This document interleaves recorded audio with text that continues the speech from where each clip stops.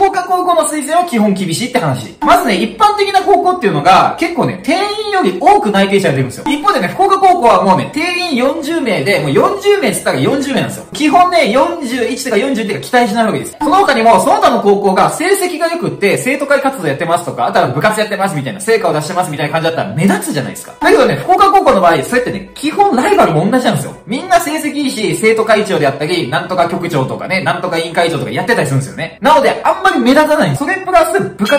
ラグビーとか野球とか、福岡高校が力を入れてる部活、この部活の部分で何か実績があるとか、成果を出していくとか、そういうことじゃないとしんどい。なので、学力だけのアピールで福岡高校の推薦突破しようと思ってるんだったら、それ相当厳しいと思ってた方がいいです。例えば、成績はオール5なんだけれども、部活してない、えー、生徒会もしてない、その他の課外活動で実績もない。これだったら、周りもみんな同じなんです。差がつかないってことですね。続きは本